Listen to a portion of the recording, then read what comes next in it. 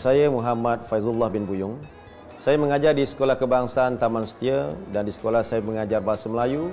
Pada hari ini saya telah menggunakan satu teknik yang saya namakan teknik salam. Teknik ini dapat membantu murid dengan membina ayat secara mudah. Kerana murid kita mengalami masalah ataupun punya masalah untuk membina ayat secara gramatis. Jadi teknik yang saya perkenalkan ini itu teknik salam iaitu siapa, aktiviti, lokasi, alat dan juga mengapa akan memudahkan murid kita untuk membina ayat dengan lebih cepat, ah, pantas, mudah dan yang penting ayat yang mereka hasilkan itu menjadi satu ayat yang kita panggil sebagai ayat yang gramatis. Cikgu beri satu gambar. Cikgu bulatkan gambar yang di hadapan itu. Siapa boleh beritahu cikgu? Angkat tangan. Apakah kata kerja gambar orang dalam bulatan? Ya. Sepak bola. Menyepak bola. Ada perkataan lain? Ya. Hafiz. Melecek bola. Menggelecek bola. Berlari. Berlari. Setuju? Ada lagi, Haiman? Mengejar bola. Mengejar bola. Baik. Saya tanya awak. Ada tak alat yang digunakan? Tak. Ada tak alat digunakan? Tak. Ada tidak?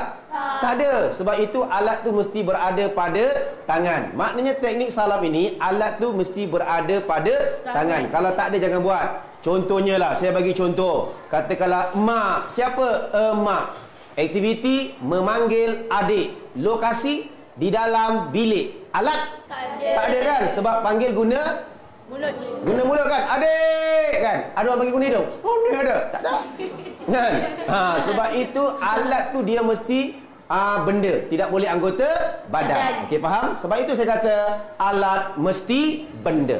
Disebabkan kamu dah faham, saya akan bagi latihan pada hari ini kepada kamu dan kita akan buat latihan itu secara kumpulan.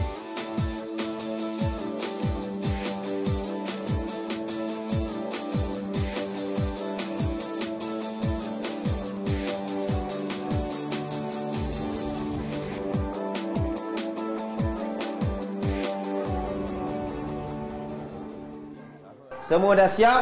Siapa saya nak jawapan dari setiap kumpulan, daripada setiap kumpulan. Boleh? Okey, baik. Okey, kumpulan empat. Okey, bagi jawapan. Okey, kuat-kuat saya tak dengar. Seorang murid perempuan sedang menyapu sampah di dalam dewan sekolah dengan menggunakan sebatang penyapu agar dewan kelihatan bersih dan kemas. Betul? Mulai betul? Setuju? Semua setuju? Okey, tepuk tangan untuk kumpulan empat. Okey, baik. Kumpulan yang lain nak cuba? Ada cuba? Kumpulan tiga pula?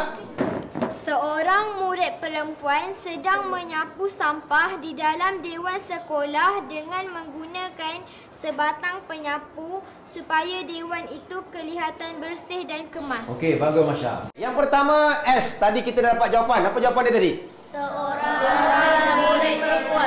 Okey, ada siapa kumpulan yang jawab seorang murid perempuan? Angkat tangan, kumpulan mana? Okey, semua jawab. Kalau saya guna perkataan lain boleh tak? Seorang kanak-kanak perempuan. Yang lain lagi? Ya, Alia. Seorang murid sekolah. Seorang murid sekolah. Boleh juga, tapi saya nak lagi satu. Ya. Adik. Ya, adik boleh. Boleh tak bagi nama? Hafiz, nama? Saya. Ha.